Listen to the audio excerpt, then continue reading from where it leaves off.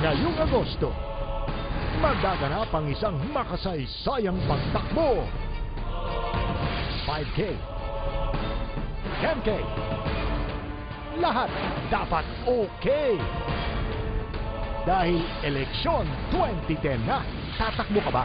Ito ang habon para sa kayusan ng Pilipinas. August 30, 5.30 a.m. sa Bonifacio Global City. Magpa-register na. Anytime from 8 a.m. to 10 p.m.